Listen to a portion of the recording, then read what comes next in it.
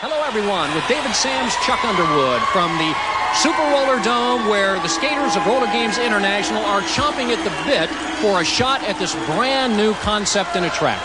Just wait till you see these skaters take on the 14 foot high wall of death. It could be devastating. And the sky jump. And yes, the live alligator pit used during sudden death overtime. Chuck, that could be devastating. Well, as witnessed about an hour ago, when the best laid plans of alligators and men went awry.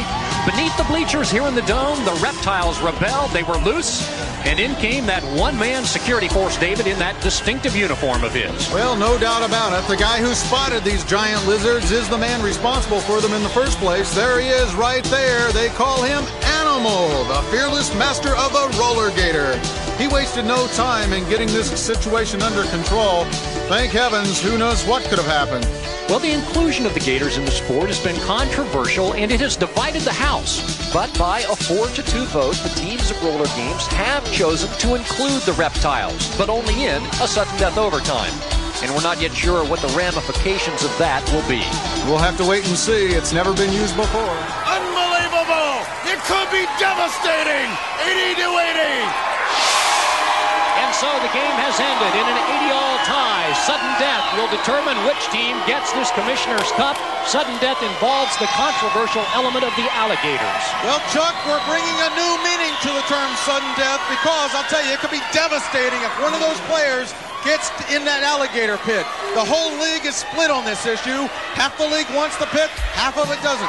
Basically, the bad guys want it, the good guys do not. And it's been an ongoing controversy. But I'm scared to death to see what happens when one of these team specialty players, the Gator Skaters, falls into the pit. It could be absolutely devastating.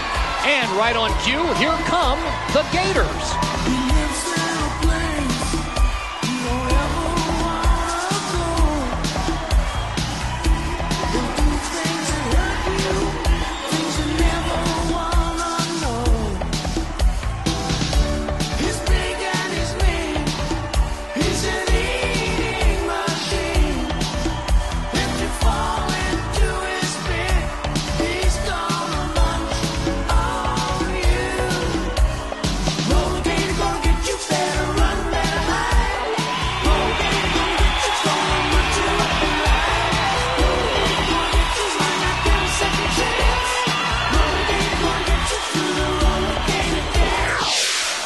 And so, with the T-Birds and Violators tied at 80 at the end of regulation, here very simply are the two rules of sudden death overtime.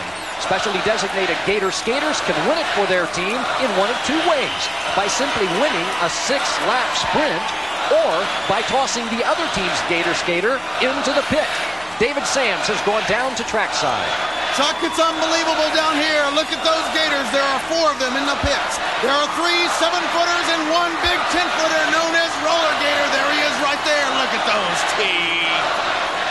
Both teams have been cleared to the outside of the track. They are lining the rail, cheering on their designated Gator skaters, and here we go in sudden death. Each skater wearing the ceremonial sudden death hood.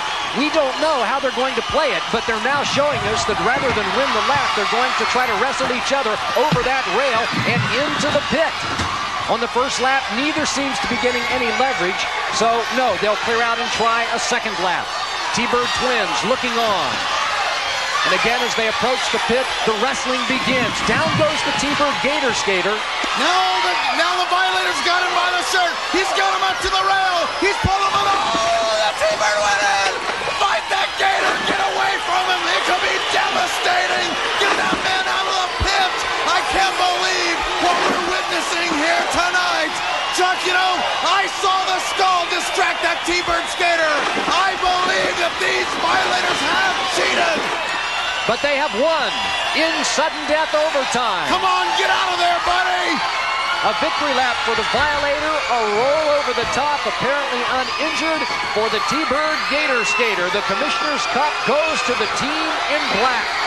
This whole alligator thing is just ridiculous, David. Who ever heard of a sports competition being decided with an animal? It's ridiculous. I've heard from the ASPCA. I hear Bob Barker's even trying to get in touch with us. The whole thing got snuck through by the likes of a skull and a Haas and, a, and, and, and those people, and even, and even Lopez got sucked into the thing. This is terrible. Obviously, we'll see these two teams at it again. Back to you, Chuck.